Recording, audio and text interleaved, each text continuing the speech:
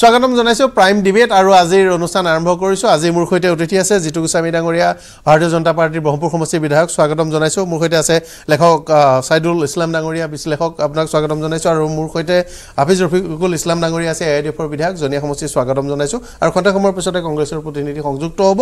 বিষয় কেইবাটাও কিন্তু আজি গুৰুত্বপূৰ্ণ বিষয়। নিউজ এইটিনতে আমি খন্তেক সময়ৰ পূৰ্বে এই খবৰ প্ৰকাশ কৰিছোঁ যে অসম চৰকাৰে অহা দহ ফেব্ৰুৱাৰী তাৰিখে কেবিনেট বৈঠকত U C C uniform civil code এই ইয়াৰ বিধেয়কত অনুমোদন জনাব আৰু তাৰ পিছত যিকোনো মুহূৰ্ততে দহ তাৰিখে বা এঘাৰ তাৰিখে এই বিধেয়ক বাজেট অধিৱেশনতেই উপস্থাপন কৰিব আৰু তাত পাছ কৰাব। ইতিমধ্যেই উত্তৰাখণ্ডত আমি দেখিবলৈ পালোঁ প্ৰথমখন ৰাজ্য হিচাপে ইউনিফৰ্ম চিভিল কোড তেওঁলোকে প্ৰৱৰ্তন কৰিলে।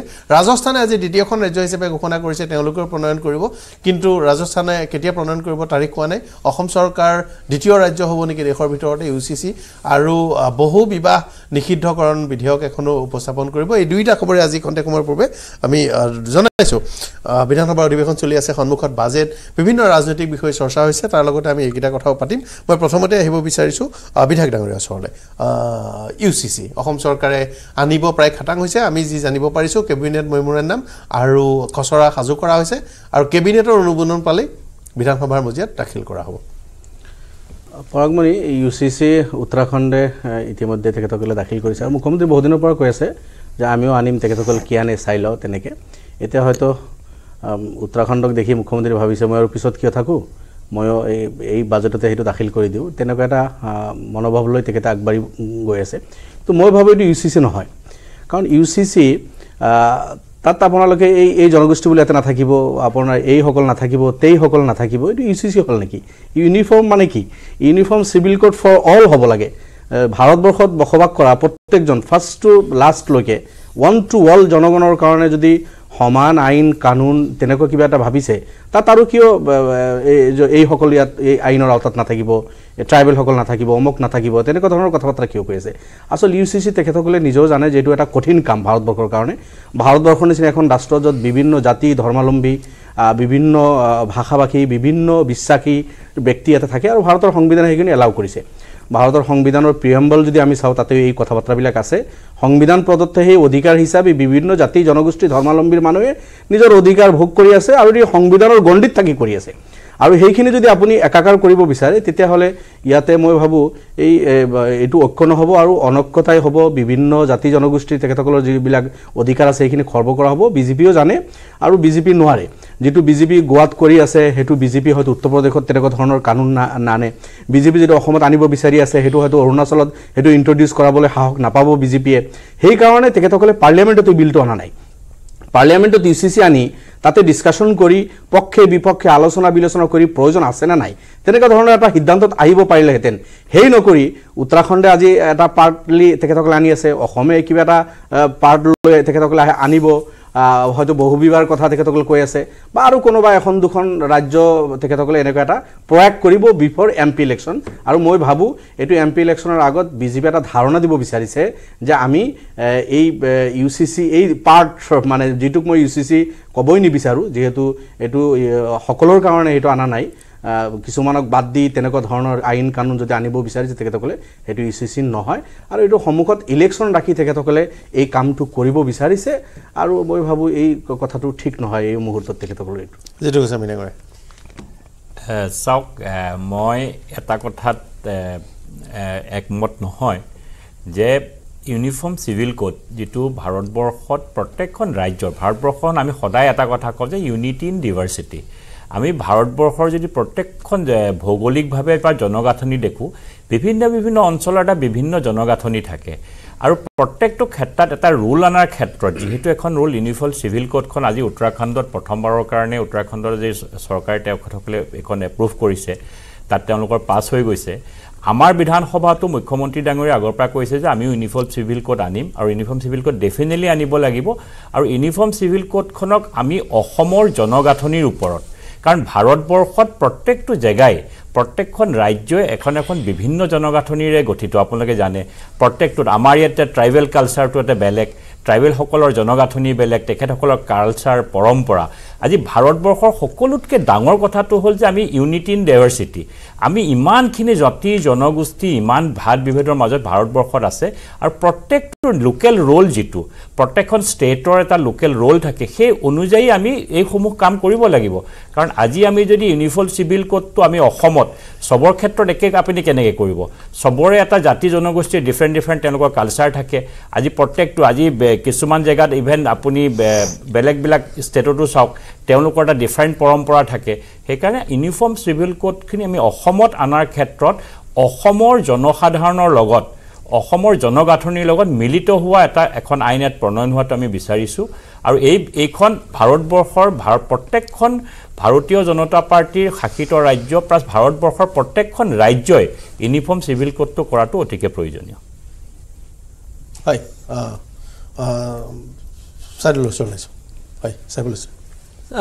শাসক বিৰোধী দুয়োগৰাকী বিধায়কৰ বক্তব্যত এটা কথা স্পষ্টভাৱে ফুটি উঠিছে যে ভাৰতখন এটা ডাইভাৰ্ছ কমিউনিটি ডাইভাৰ্ছ কালচাৰৰ এখন দেশ।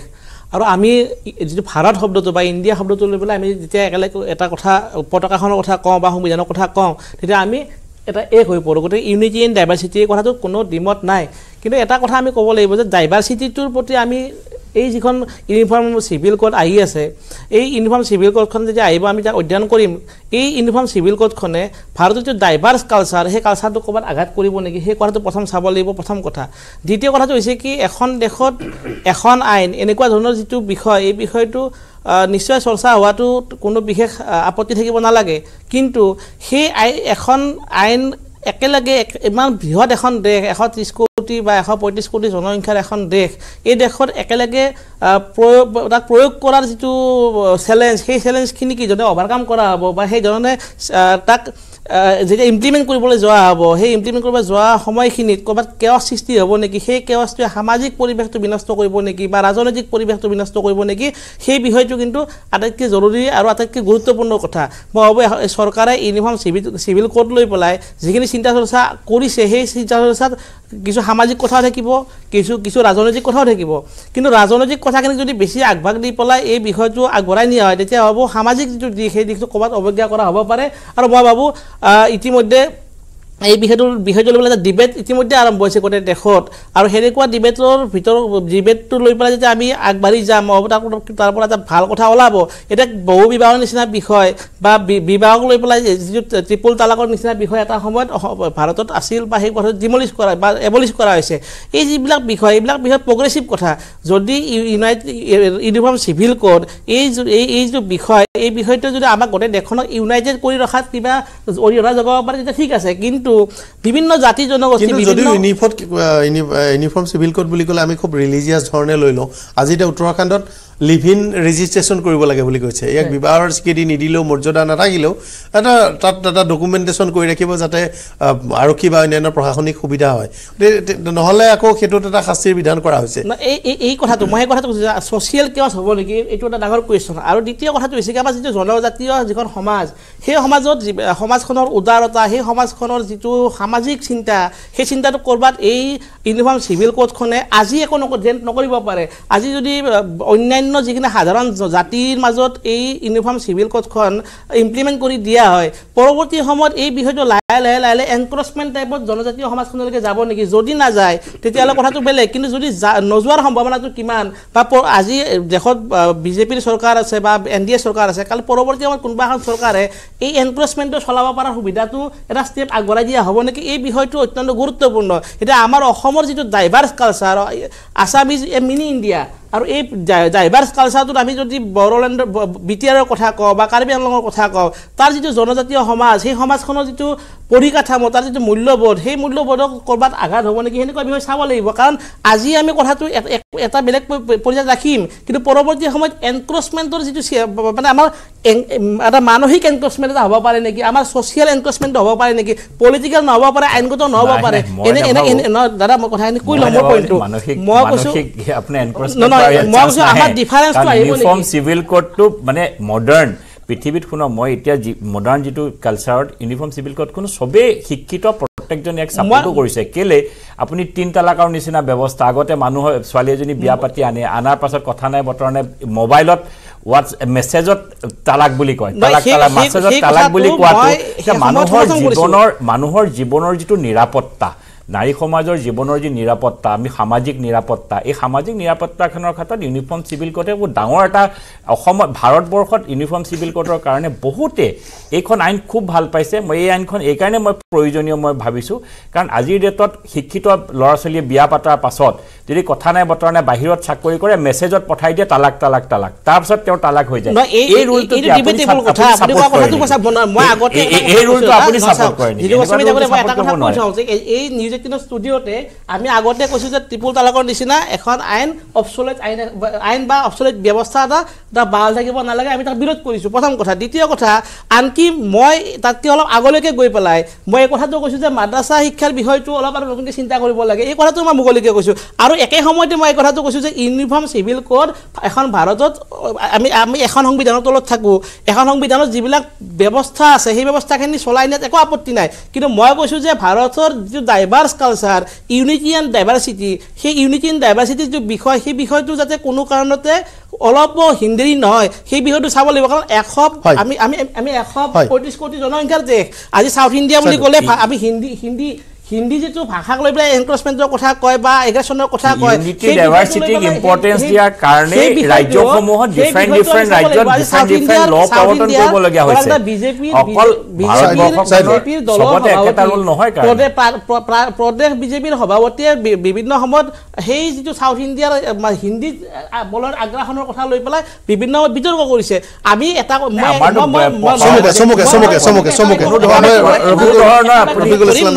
ৰফিকুল- ইছলাম ডাঙৰীয়া ওচৰলৈ খুজিছোঁ। মই- ৰফিকুল ইছলাম ডাঙৰীয়া ওচৰলৈ ওচৰলৈ আহিছোঁ। ৰফিকুল ইছলাম। এটা বাক্য এটা বাক্য মই ক'ব খুজিছোঁ ইউনিফৰ্ম চিভিল কোড আমি আদৰণি জনাইছোঁ। লগতে এটা কথা কৈছোঁ যে ইউনিটি ইন ডাইভাৰ্চিটি আৰু মানুহৰ যিটো জনগাঁথনিৰ যিটো জনজাতীয় চিন্তা বা আমাৰ যিটো জনগোষ্ঠীয় চিন্তা বা এই বিষয়টো যাতে বা কোনো ৰ- ৰফিকুল ইছলাম ডাঙৰীয়া ৰফিকুল ইছলাম ডাঙৰীয়া। কিন্তু বিষয়টো বৰ স্পৰ্শকাতৰ। বহু বিবাহেই হওক বা ইউনিফৰ্ম চিভিল কোডেই হওক তাতে জনজাতীয় যি তেওঁলোকৰ চিন্তা চেতনা আছে সেইখিনি সংৰক্ষণ কৰাটো একে সময়তে জৰুৰী। কিন্তু ৰাজ্যসমূহে কৰিছে এইটো কাৰণে যে জনজাতিসকলক এই বিষয়টোৰ আওতাৰ পৰা বাহিৰত ৰাখিব পাৰে। জনজাতি সমাজত যাতে কোনো ধৰণৰ ইয়াত প্ৰভাৱ নপৰে। অৰ্থাৎ জনজাতিসকলক ইয়াৰ পৰা বাহিৰত ৰখা হৈছে। পৰাগমণি তেতিয়া আপুনি ইয়াক ইউনিফৰ্ম চিভিল কোড আপুনি কেনেকৈ ক'ব?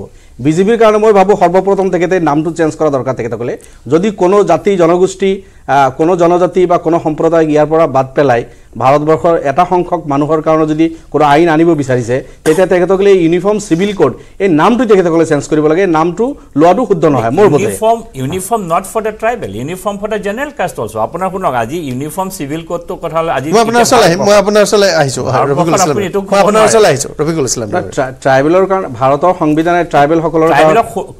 সংৰক্ষণ দিয়া হৈছে। একে সংবিধানত ট্ৰাইবেলক সংৰক্ষণ দিয়া আছে আপোনাক মোক দিয়া হোৱা নাই। আপোনাকো দিয়া নাই মোকো দিয়া নাই সংৰক্ষণ এতিয়া আমি সংৰক্ষণ পোৱা নাই ট্ৰাইবেলে সংৰক্ষণ পাইছে একেখন সংবিধান নহয়। সেইকাৰণে সংবিধানৰ মই কথা হ'ল যে সংবিধানত সংৰক্ষণ ব্যৱস্থাটো থকাৰ কাৰণে গোস্বামী ডাঙৰীয়া সংৰক্ষণ মই বুজি। পাইছোঁ সংৰক্ষণ শিক্ষা দীক্ষাৰ ক্ষেত্ৰত ঠিক। আছে ট্ৰাইবেল কমিউনিটি বিশেষভাৱে তেখেতসকলে জংগল বা হাবি বন পাহাৰ পৰ্বত তেনেকুৱা অঞ্চলত থাকি ভাল পায় বা তেনেকুৱা ধৰণৰ অঞ্চলত বেছি তেখেতসকলৰ জনসংখ্যা। শিক্ষা দীক্ষাৰ ফালে অনুষ্ঠান প্ৰতিষ্ঠান তেখেতসকলৰ তাতে কম। এই চব কথা লক্ষ্য কৰি শিক্ষাৰ হাৰ ইত্যাদি ইত্যাদি বহুত কম তেখেতসকলৰ মাজত। তেখেতসকলৰ চাকৰি বাকৰিৰ ক্ষেত্ৰত শিক্ষাৰ ক্ষেত্ৰত বিভিন্ন ক্ষেত্ৰত তেখেতসকলক ৰিজাৰ্ভেশ্যন দিছে সুবিধা দিছে তাত কাৰো ক'ব লগা নাই। আৰু সংবিধানে এইখিনি অধিকাৰ দিছে সংবিধান প্ৰদত্ত সেই অধিকাৰখিনি তেখেতসকলে ভোগ কৰি আছে। বহুতে পোৱাও নাই ঠিক আছে সেইখিনিলৈকে। কিন্তু ট্ৰাইবেলসকলো এজন মানুহ ভাৰতীয় ইণ্ডিয়ান। আপুনি নন ট্ৰাইবেল আপুনিও এজন ইণ্ডিয়ান। মই এজন ভাৰতীয় মই এটা ধৰ্মাৱলম্বী মানুহ মই ইণ্ডিয়ান। কিন্তু আপুনি ট্ৰাইবেলত তিনিজনী বিয়া পাতিব কোনো মানে তাতে কোনো আপোনাৰ হেৰি নাই নিষেধ নাথাকিব আপুনি নন ট্ৰাইবেল বুলি আপুনি তিনিজনী বিয়া পাতিব নোৱাৰিব মানে। ট্ৰাইবেল যেতিয়া আইনৰ আওতাত নাথাকিব আপুনি ট্ৰাইবেল হ'ব লাগে আৰু সামাজিক? মেছেজটো ভাল হ'ব, ক'ব আপুনি। আজি মুখ্যমন্ত্ৰী ডাঙৰীয়া এই। দহ হাজাৰ টকা উপটকন দিব মহিলা গোটবিলাকক তাতে কৈছে যে ট্ৰাইবেলসকলৰ যদি চাৰিজন কৰি সন্তান থাকে সেই ট্ৰাইবেলসকলেও পাব। নন ট্ৰাইবেল তিনিজনতকৈ বেছি হ'লে নাপাব। ইয়াতে চাওক আপোনালোকে। ট্ৰাইবেলসকল চাৰিজন পাঁচজন হ'লেও পাব আৰু নন ট্ৰাইবেল তিনিজনৰ অতিৰিক্ত হ'লে নাপাব। ইয়াতে আপুনি ইউনিফৰ্মিটি এটাও ৰখা নাই গতিকে এনেকুৱা ধৰণৰ মই- যদি কোনো এটা জনগোষ্ঠীক যদি টাৰ্গেট কৰিব ভাৰতবৰ্ষত বিচাৰিছে। আপুনি সংৰক্ষণ ব্যৱস্থাটো ভাৰতবৰ্ষত কি কাৰণে কৰিছে? আজি নহয়। ট্ৰাইবেলসকল পিছপৰা অঞ্চল আমি জানো, এই কথাটো আমি জানো, কাৰণে নোৱাৰিব। আজি সংৰক্ষণ ডাঙৰীয়া, আপুনি তাতো যে চিভিল কোড ট্ৰাইবেলক ভাৰতবৰ্ষত সংৰক্ষণ দিব নালাগে। আপুনি এইটো বিচাৰে নেকি যে ট্ৰাইবেলসকলক সংৰক্ষণ দিব নালাগে বুলি? সংৰক্ষণ দিব মানে লাগে। আপুনি এইটোৱে দিব লাগে। এই- এয়াই এ আই এফৰ ফালৰ পৰা কৈছে যে বিজেপিয়ে ইউনিফৰ্ম চিভিল কোড ভাৰতত নোৱাৰিব বুলি। নোৱাৰে হ'ব। অসমত বিজেপি চিভিল চৰকাৰে কোড ক'ব নোৱাৰে যে বন্ধ কৰক। এই কথাটো বিজেপি চৰকাৰে অপেনলি গোৱাত হৈ আছে। তাতে আইনখন ইছলাম ডাঙৰীয়া নিজে থাকিব তেখেতো আইনখন পাব। এই বিধানসভা যে। এইটোৱে ইউ চি চি নাম নিদি তেখেতে মুখ্যমন্ত্ৰী ডাঙৰীয়া যদি ভাবিছে যে মুছলমানসকলৰ তাত এটা কনচেপ্ট আছে মই এইটো বস্তু ক্লিয়াৰ কৰি দিওঁ তালাক আৰু নিকাৰ কথা আহিছে। চাৰিজনীলৈকে বিবাহ পাতাৰ অপশ্যন আছে। হা এইটোক কিন্তু এনকাৰেজ কৰা নাই ইছলামে। মই কোৰাণ ইছলামৰ হ'ল মেইন আচল বুনিয়াদ। কোৰাণৰ মই আয়ত পঢ়ি আপোনালোকক ব্যাখ্যা কৰিব পাৰিম যে তুমি যদি জাষ্টিছ কৰিব নোৱাৰা তুমি যদি এজনী তুমি বিয়া পাতিছা দেট ইজ এনাফ কিন্তু তুমি যদি দুজনী কিবা কাৰণবশতঃ তুমি পাতিব বিচাৰিছা there is option you can do কিন্তু যদি তুমি দুয়োজনীৰ মাজত জাষ্টিছ কৰিব নোৱাৰা সমান দৃষ্টিত সমান সুবিধা যদি দুজনীক কৰি দিব নোৱাৰা তেতিয়াহ'লে তুমি এই দুঃসাহস নকৰিবা কেতিয়াও তুমি দ্বিতীয় বিবাহ নকৰিবা। উৎসাহিত কৰা নাই কোৰাণে বৰঞ্চ আপোনাৰ তাক মানে নিৰুৎসাহিতহে কৰিছে। কাৰণ জাষ্টিছ ইজ নট ইজি দুজনীৰ মাজত দুজনী স্ত্ৰীৰ মাজত জাষ্টিছ কৰা সমদৃষ্টিত চোৱা সমানভাৱে সুবিধা দিয়া এইটো এজন মানুহৰ কাৰণে ইমান বৰ কঠিন কাম। গতিকে তুমি যদি নোৱাৰা তেনেকুৱা কাম তুমি নকৰিবা। গতিকে এই- এইটো নহয় যে আপুনি যদি ছাৰ্ভে কৰে লিভ ইন ৰিলেশ্যনৰ কথা ইছলামত এইটো এলাও নহয়। এইটো মানে ইছলামে এইটো এলাও নকৰে। ঠিক আছে লিভ ইন ৰিলেশ্যন কোনোবা কৰি আছে। এতিয়া কোনোবা এজন দুজন তিনিজনৰ লগত লিভ ইন ৰিলেশ্যন কৰি আছে। হা আপোনালোকে লিভ ইন ৰিলেশ্যনৰ সুপ্ৰিম ঠিক আছে সুপ্ৰিম কোৰ্টৰ ইণ্ডিয়া এইটো এলাউ কৰি থৈছে কোনোবা কৰিছে কিন্তু ইছলামী যিসকল ইছলামৰ ওপৰত বিলিভ ৰাখে সেইসকলে কৰিব নালাগে।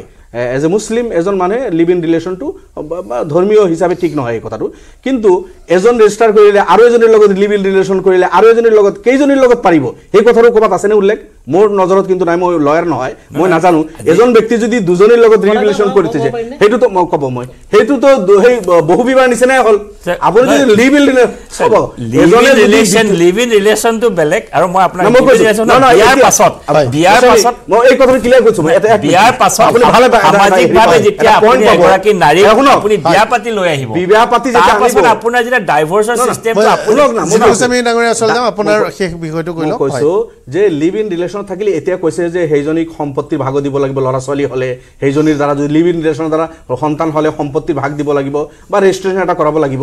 তো দুজন বা তিনিজনীৰ লগত যদি কোনোবা ৰিলেশ্যন কৰিছে সেইটোৱে যদি ইছলামে দুজন মানুহৰ উপস্থিতিত যদি কয় তোমাক মই বিয়া পাতিলো তাই যদি কয় তোমাক মই বিয়া পাতিলো দেট ইজ বিয়া।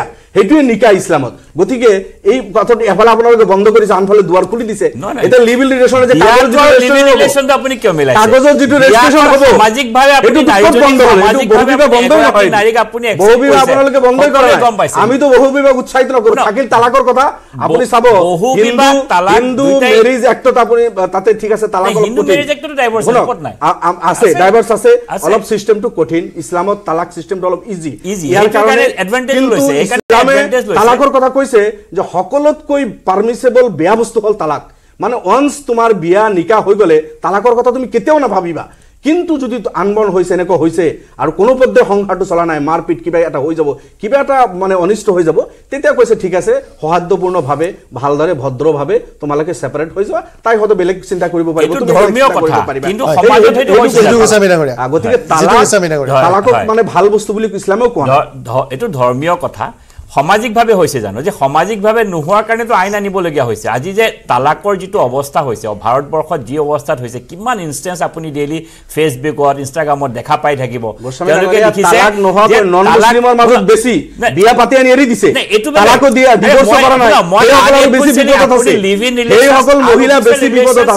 অবৈধ নাই। দিয়ক। তাইক আপুনি অবৈধ খানা খাদ্য দিয়া নাই। তাইক এৰিও দিয়া নাই। তাই বেলেগত বিয়াও পাতিব পৰা নাই। এনেকুৱা নন মুছলিমৰ মাজত আপুনি চাৰ্ভেত সমাজক চাব বহুত বেছি সাক্ষী এইটো কৰি- কথা। সমাজক সাক্ষী কৰি যেতিয়া আপুনি এগৰাকী নাৰীক বিয়া পাতিব এটা ধৰ্ম যিকোনো ধৰ্মৰ প্ৰথাৰ মই হিন্দুৱে হওক মুছলমানেই হওক খ্ৰীষ্টানেই হওক মই সেইটো কোৱা নাই। মোৰ কথা হ'ল যে সমাজত যেতিয়া এগৰাকী নাৰীক আপুনি বিয়া পাতি আনিব আনাৰ পাছত তেওঁক এৰি দিয়াৰ যিটো প্ৰচেছ আপুনি ধৰ্মীয়ভাৱে মই কোৰাণত একো মিছা কথা লিখা নাই। কোৰাণে ঠিকেই কথা কৈছে কিন্তু কোৰাণক ফ'ল' কোনে কৰিছে? আজি যে ইণ্ডিয়াত এইবিলাক যে ইনষ্টেঞ্চ হৈ আছে ডেইলি এটা এটা নতুন নতুন কাহিনী হৈ আছে। এই ইনষ্টেঞ্চবিলাক মানুহে ফ'ল' কৰিছে জানো? নকৰাৰ কাৰণেতো আইনখন আনিবলগীয়া হৈছে। আজি ভাৰতবৰ্ষৰ নাৰী মুছলমান। নাৰী সমাজে এই আইনখনক। জনাইছে। এই এইকাৰণে স্বাগতম জনাইছে। এই। আইনখনক এই আইনখনৰ কাৰণে বহুতো মুছলমান ধৰ্মাৱলম্বী নাৰীয়ে নিজকে এইখনত সুৰক্ষিত বুলি ভাবিছে। আজি এটা কথা এই ৰুলবিলাক আনিবলগীয়া হোৱাৰ কাৰণটো কি? এইটো ডিমাণ্ড অফ দ্য টাইম মই আজি আজি এটা কথা এই টাইমটো সঁচাকৈ কল পৰিছে আৰু এই কথাটোত আপুনি মানিবই লাগিব। আজি মই ৰফিকুল ইছলাম ডাঙৰীয়াক কৈছোঁ আপোনালোকে মই মই এইটো কোৱা নাই যে কোৰাণত ঠিকেই লিখিছে। কোৰাণকতো ফ'ল' কৰা নাই কাৰণে ৰুলখন আনিছে। কোৰাণক যদি ফ'ল' কৰিলে মানুহে গ'ল হয় নেকি? বহু বিবাহলৈ নাযায়।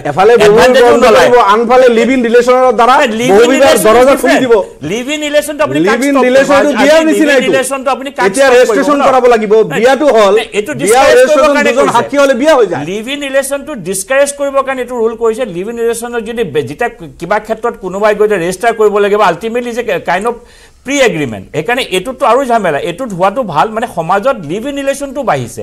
এইবিলাক বাঢ়াটো সমাজৰ কাৰণে ক্ষতিকাৰক। যিবিলাক বস্তু ক্ষতিকাৰক সেইবিলাকত আপুনি অলপ প্ৰতিবন্ধ আনিব লাগিব আৰু অকণমান ৰুলটো ষ্ট্ৰিঞ্জেণ্ট কৰিব লাগিব। আজি যে ৰুলটো ষ্ট্ৰিঞ্জেণ্ট নকৰে আজি মই এই ৰুলটো বনাবৰ কাৰণে আপুনি-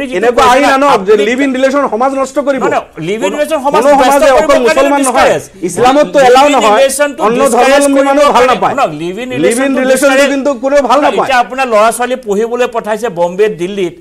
ল'ৰা ছোৱালী বাহিৰত পঢ়িবলৈ গৈছে গৈ তাত লিভ ইন ৰিলেশ্যন কৰে।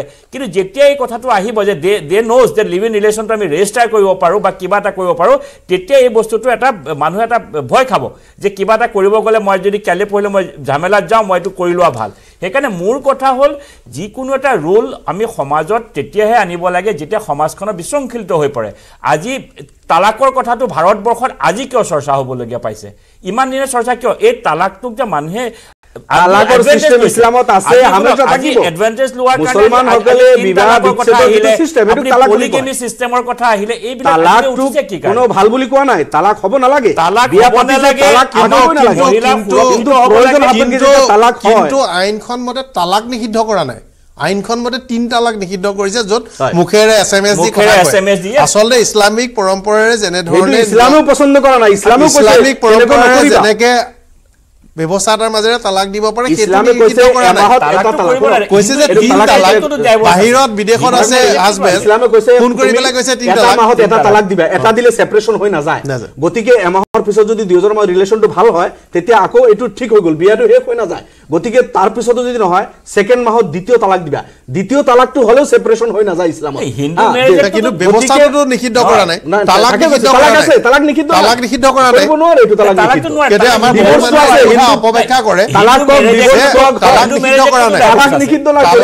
সুযোগ লৈ অপব্যাখ্যা কৰি যিসকলে তিন তালাকৰ দৰে এটা ব্যৱস্থা আমিও কওঁ। সেইটো সেইটো নিষিদ্ধ কৰিছে। তেওঁলোকৰ ইনষ্টেণ্ট তিনি তালাক হ'ব আইনখনটো নালাগে তালাক নিষিদ্ধকৰণ নহয়।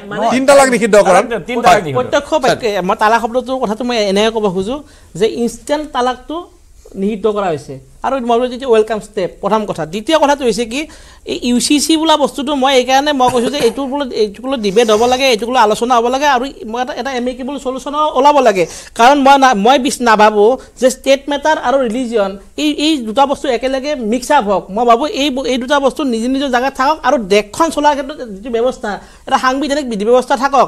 কিন্তু মই মাত্ৰ এটা কথাই কৈছোঁ যে মানুহৰ পাৰ্চনেল লাইফত এনক্ৰচমেণ্ট হ'ব নালাগে প্ৰথম কথা। দ্বিতীয় কথাটো হৈছে কি আমাৰ যিটো জনজাতীয় সমাজ ব্যৱস্থা সেই সমাজ ব্যৱস্থাটোত আমাৰ মাজত কেতিয়াও যাতে এটা বিভেদৰ সৃষ্টি নহয় বা মানসিক দূৰত্ব সৃষ্টি নহয় সেই কথাটো চাব লাগে। দ্বিতীয় দ্বিতীয় কথা আৰু তিনি নম্বৰ কথাটো হৈছে কি আমাৰ যিবিলাক প্ৰচলিত ব্যৱস্থা আছে সেই প্ৰচলিত ব্যৱস্থাবিলাকৰ পৰা আমি এক্সিট কৰোঁতে আমাৰ টাই- এটা এক্সিট টাইম লাগিব। সেই টাইমটোলৈকে অলপমান বিষয়বিলাক অলপমান যাতে লাহে লাহে সোমাই দিব পাৰি কিন্তু কিন্তু এতিয়া ধৰ্মীয় ব্যৱস্থাটো এনেকুৱা হ'ব নালাগে। আমাৰ মনত আছে আজিৰ প্ৰায় এক দশক মানৰ আগৰ কথা। এজন মন্ত্ৰী তেওঁ ধৰ্ম হিন্দু ধৰ্মাৱলম্বী আছিল। তেওঁৰ পত্নী আছিল ল'ৰা ছোৱালী আছিল তেওঁ বেলেগ এগৰাকী যুৱতী বা মহিলাৰ প্ৰেমত পৰিল। তেওঁ ইছলামিক ইছলাম ধৰ্ম তেওঁ গ্ৰহণ কৰিলে আৰু গৈ পেলাই তেওঁ ইছলাম নিয়মতে বিয়া পাতি ল'লে। এইবোৰ মানে কেতিয়াবা ধৰ্ম বা অন্যান্য বিষয়ত আইনতো সুৰুঙাবোৰৰ পৰা মানুহে অপকৰ্ম কৰে। সেই কথা তেওঁৰ কাৰণে যুক্তিশুদ্ধ কথা যে মই যিকোনো ধৰ্ম গ্ৰহণ কৰিব পাৰোঁ প্ৰেক্টিচ কৰিব পাৰোঁ। কিন্তু এই যে কামটো কৰিবলৈ পালে কাৰণ তেনেকে গৈ কৰিবলৈ পালে। অকলে বিয়া পাতাৰ কিছুমান- কাৰণে ধৰ্ম ল'লে নহ'ব। নহয়, নহয়, শুদ্ধ অন্তকৰণে ধৰ্ম শুদ্ধ ল'ব অন্তকৰণে লাগিব। ধৰ্ম ল'ব লাগিব। ৰফিকুল ইছলাম ডাঙৰীয়াই কিন্তু- কৈছে নহয় মই এটা কথা ৰফিকুল ইছলাম ডাঙৰীয়াই কৈছে যে আমাৰ যিহেতু ডাইভৰ্চ পথ ডাইভৰ্চটো যিটো তালাক তালাকটো মুছলিমতো আছে তালাকটো হিন্দুতো আছে। হিন্দু মেৰেজতো ডাইভৰ্চ আছে। আৰু আজিকালি কোৰ্টবিলাকো ইভেন আপুনি চাব কোৰ্টত যেতিয়া আজিকালি ডাইভৰ্চ ল'বলৈ যায় যিকোনো সময়ত তেওঁলোকক কনচালটেশ্যনৰ কাৰণে সময় দিয়ে। প্ৰথমে ফেমিলি কোৰ্টেটো কেছটো নলয়। প্ৰথমে কয় যে আপোনালোকে প্ৰথমে কাউন্সিল কৰক। কাউন্সিলিং কৰাৰ পাছত আহক। প্ৰত্যেকটোতে ধৰ্মত যিদৰে আছে কোনো সভ্য সমাজে নিবিচাৰে যে ডাইভৰ্চটো প্ৰচাৰ। কিন্তু এই ৰুলটো ষ্ট্ৰিনজেণ্ট হ'লে এটা ক্ষেত্ৰতে ভাল। মই আপোনাক কৈছোঁ যে সমাজত মানুহে এনকাৰেজ নহ'ব। আজি যেনেকৈ কোনোবাই বিয়া পাতে ৰুলটোক এইকাৰণে ৰুলটোক মই কৈ মানুহে এডভান্টেজ লয় এই গোটেই প্ৰথাটোক। এতিয়া তিনিটা তিনিবাৰ তালাক দিলে তিনি মাহত ডাইভৰ্চ হৈ যায়। সেইকাৰণে যিখিনি বদমাচি কৰিব লাগে they are taking advantage of the rule সেইকাৰণে এই প্ৰথাটো বন্ধ হ'ব লাগে আৰু ইউনিচুৱেল চিভিল কোডটো আপুনি সঁচা অৰ্থত চাব? শুনা, মই আপোনাৰ এতিয়া ৰফিকুল ইছলাম ডাঙৰে ইউ চি চিত কি আহিব ময়ো নাজানো। ইউ চি চিত কি আহিব ময়ো নাজানো। আপুনি মই- জেনেৰেল ডিছকাশ্যন কৰিছে। শুনা, আমি এতিয়া কি হৈছে এতিয়া হেৰিটো অহাৰ পাছত আইনখন অহাৰ পাছতে আপুনি- ময়ো নাজানো। ময়ো নাজানো ইউ চি চিত কি আহিব। কিন্তু আজি ডিছকাশ্যন কৰিছে কাৰণে আমি ডিছকাশ্যনটো কৰিছোঁ। কিন্তু মোৰ কথা জেনেৰেল ডিছকাশ্যন যিটো হ'ব ইউ চি চিৰ পৰা মানুহৰ লাভান্বিত হ'ব। আৰু ইণ্ডিয়াত সংৰক্ষণটো মই আপোনাক কৈছোঁ ইণ্ডিয়া এখন ইমান ডিভাৰ্চিফাইড কাণ্ট্ৰি ইণ্ডিয়াত সংৰক্ষণটো কোনোবা এটা ক্ষেত্ৰত প্ৰত্যেকটো জেগাতে প্লেচ ৱাইজ কমিউনিটি ৱাইজ আমাৰ ইমান ডাইভাৰ্চ আমি এটা জেগাত এটা ৰুল প্ৰৱৰ্তন কৰা ইণ্ডিয়াখন ইজি নহয়। হয়। সেইকাৰণে সকলোৱে আমি লোকেল লটোক আমি ফ'ল' কৰিবই লাগিব লোকেল ৰুলটোৰ মতে আমি যাবই লাগিব। মই মই আহিছোঁ আহ, আপোনাৰ ওচৰলৈ পুনৰ এবাৰ কিন্তু মই চমু বিৰতি লৈছোঁ বিৰতিৰ পাছত চৰ্চা অব্যাহত থাকিব। এনেকৈ পৰে। মাইথন স্টিল এনেকৈ পৰে। ধমকৈ। শ্ৰীমন্ত শংকৰদেৱ কলাক্ষেত্ৰত চলি থকা অসম সাংস্কৃতিক মহাসংগ্ৰামত এইবাৰ ব্যাপক খেলি মেলিৰ অভিযোগ উত্থাপন কৰিছে একাংশ প্ৰতিযোগী। ৰাজ্যৰ প্ৰায় আটাইকেইখন জিলাৰ প্ৰতিযোগীয়ে অংশগ্ৰহণ কৰা এই প্ৰতিযোগিতাত অংশ ল'বলৈ আহি পৈমাল হ'ল একাংশ যুৱতী নিশা বাৰ বজালৈকে যুৱতীসকলৰ বাবে থকাৰ ব্যৱস্থা নাই। যাৰ বাবে প্ৰায় পঞ্চল্লিছগৰাকী যুৱতী প্ৰতিযোগী বুন্দাপৰ দিব লগা হ'ল পথৰ ওপৰতে। ৰুম নাই ৰুম বুক কৰি থৈছো বুলি কৈছে ৰুম বুক কৰি থোৱা নাই। আমি ৰুমৰ ৰুম এটাত ভৰালে দেই ৰুম এটা দিছিলে বাট ৰুমটোত সোমাব নোৱাৰি। ইমান বেয়া গোন্ধ না তাত উশাহ ল'ব পাৰি না বাথৰুমত যাব পাৰি। এটা ৰুম ৰুম থাৰ্টি ফ'ৰ জনী ছোৱালী আছো আৰু এটা ৰুম আছে। নিশা এই অভাৱনীয় পৰিস্থিতিৰ সন্মুখীন হ'ল একাংশ তিনিচুকীয়াৰ প্ৰতিযোগী। হোটেল নাপাই নিশা বাৰ বজালৈকে হোটেল টকিঅ' টাৱাৰৰ সন্মুখত টালি টোপোলা লৈ বহি থাকিল অহা দিনাখনৰ পৰা আমাৰ এইটোৱে অৱস্থা। ইফালে পেলাই দিব সিফালে এনেকে হয় নেকি? পাতিবই নালাগে। যদি প্ৰতিভা নাপায়। অভিভাৱক অবিহনে গুৱাহাটীলৈ আহি এই পৰিস্থিতিৰ সন্মুখীন হ'ল প্ৰতিযোগীসকল। থকাৰ ব্যৱস্থা কৰিব নোৱাৰিলে। এনে অনুষ্ঠান পাতিব নালাগে বুলি মন্তব্য যুৱতীসকলৰ। পৰৱৰ্তী সময়ত বত্ৰিছগৰাকী যুৱতীক নিশা থাকিবলৈ টকিঅ' টাৱাৰ হোটেলত ব্যৱস্থা কৰি দিলে মাত্ৰ এটা কোঠা।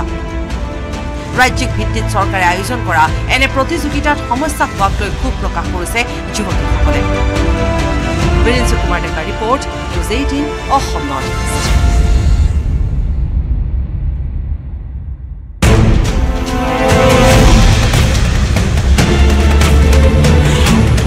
সাংস্কৃতিক মহাসংগ্ৰামত ব্যাপক খেলিমেলি।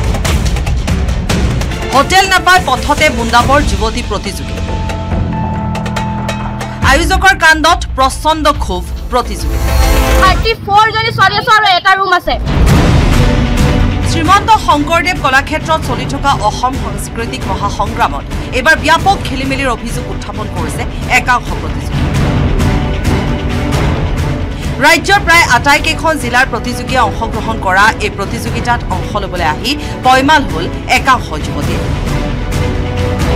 নিশা বাৰ বজালৈকে যুৱতীসকলৰ বাবে থকাৰ ব্যৱস্থা নাই। যাৰ বাবে প্ৰায় পঞ্চল্লিছগৰাকী যুৱতী প্ৰতিযোগী বুন্দাপৰ দিব লগা হ'ল পথৰ ওপৰতে। ৰুম নাই ৰুম বুক কৰি থৈছো বুলি কৈছে ৰুম বুক কৰি থোৱা নাই আমি ৰুমৰ ৰুম এটাত ভৰালে দেই ৰুম এটা দিছিলে বাট ৰুমটোত সোমাব নোৱাৰি ইমান বেয়া গোন্ধ না তাত উশাহ ল'ব পাৰি না বাথৰুমত যাব পাৰি। এটা ৰুম ৰুম থাৰ্টি ফ'ৰজনী ছোৱালী আছো আৰু এটা ৰুম আছে। নিশা এই অভাৱনীয় পৰিস্থিতিৰ সন্মুখীন হ'ল একাংশ তিনিচুকীয়াৰ প্ৰতিযোগী। হোটেল নাপায় নিশা বাৰ বজালৈকে হোটেল টকিঅ' টাৱাৰৰ সন্মুখত টানি টোপোলা লৈ বহি থাকিল কিশোৰী অহা দিনাখনৰ পৰা আমাৰ এইটোৱে অৱস্থা। ইফালে পেলাই দিব ইফালে এনেকে হয় নেকি? পাতিবই নালাগে। যদি প্ৰতিভা অভিভাৱক অবিহনে গুৱাহাটীলৈ আহি এই পৰিস্থিতিৰ সন্মুখীন হ'ল প্ৰতিযোগীসকল। থকাৰ ব্যৱস্থা কৰিব নোৱাৰিলে এনে অনুষ্ঠান পাতিব নালাগে বুলি মন্তব্য যুৱতীসকলৰ। পৰৱৰ্তী সময়ত বত্ৰিছগৰাকী যুৱতীক নিশা থাকিবলৈ টকিঅ' টাৱাৰ হোটেলত ব্যৱস্থা কৰি দিলে মাত্ৰ এটা কোঠা ৰাজ্যিক ভিত্তিত চৰকাৰে আয়োজন কৰা এনে প্ৰতিযোগিতাত সমস্যা হোৱাক লৈ ক্ষোভ প্ৰকাশ কৰিছে যুৱতীসকলে। বীৰেন্দ্ৰ কুমাৰ ডেকাৰ report News Eighteen Assam North